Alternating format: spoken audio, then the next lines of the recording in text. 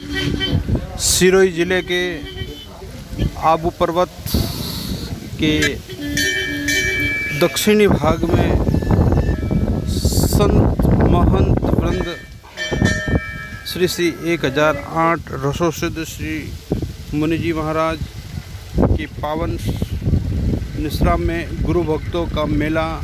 यहाँ गुरु भक्तों ने गुरु पूर्णिमा के अवसर पर भक्ति का ज्वार उमड़ पड़ा। यहाँ गुरु पूर्णिमा के पावन अवसर पर सुबह से ही भक्तों का जमावड़ा।